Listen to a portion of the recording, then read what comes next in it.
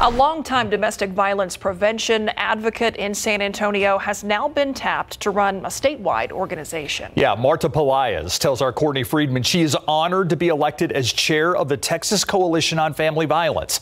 It's part of Courtney Friedman's series Confronting Domestic Violence, Loving in Fear.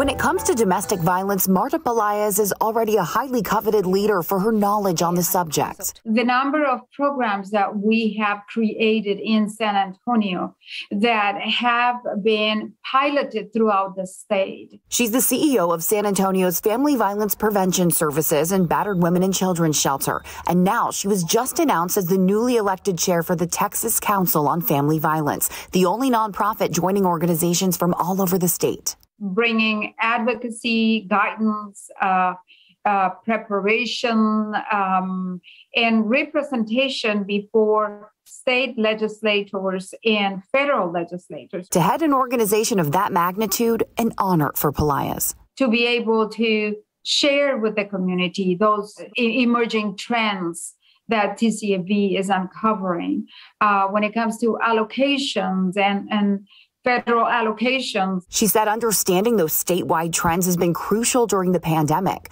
Pelaez says 228 Texans were killed by intimate partners in 2020, a 23% increase from the previous year.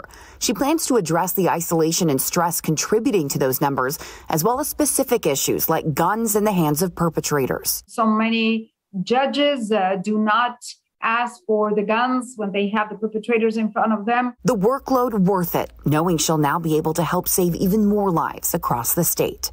Courtney Friedman, KSAT 12 News.